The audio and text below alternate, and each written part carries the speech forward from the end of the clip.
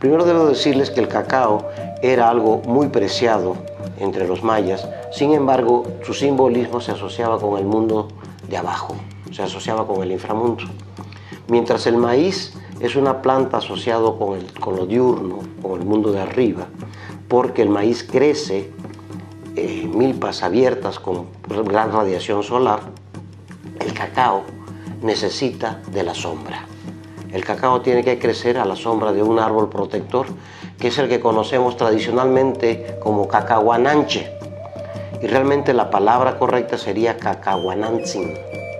De cacao, que es cacao, y nanzin, que es madre, que se le conoce como la madre del cacao.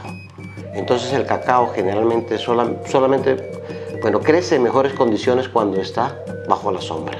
Entonces simbólicamente el maíz se asocia con lo diurno y el cacao con lo nocturno.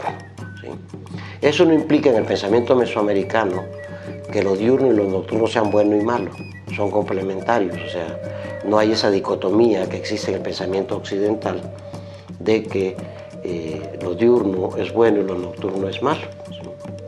Entonces es muy común que aparezca, eh, aparezcan en vasijas personajes que se han identificado como una deidad del cacao y que generalmente tienen una connotación más con el mundo de abajo.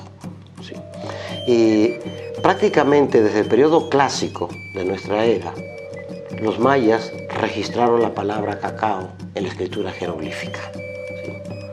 Y gracias a, este conocimiento sabemos que muchos vasos tienen una fórmula dedicatoria que hace alusión a que este vaso es para su fresca bebida de cacao.